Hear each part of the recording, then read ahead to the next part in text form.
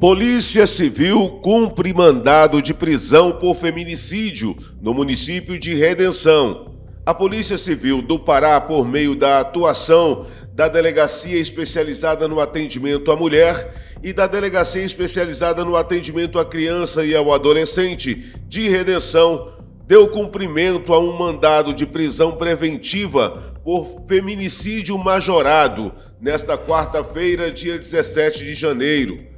A morte de Daiane de Oliveira, de 33 anos, ocorreu no mês de novembro de 2023, praticado pelo marido dela, que a assassinou de forma brutal.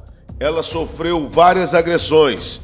O homem foi localizado e preso na rua Maria Benta Oliveira, situada no bairro Jardim América. Conduzido à delegacia policial para as providências cabíveis, o sujeito se encontra à disposição do Poder Judiciário.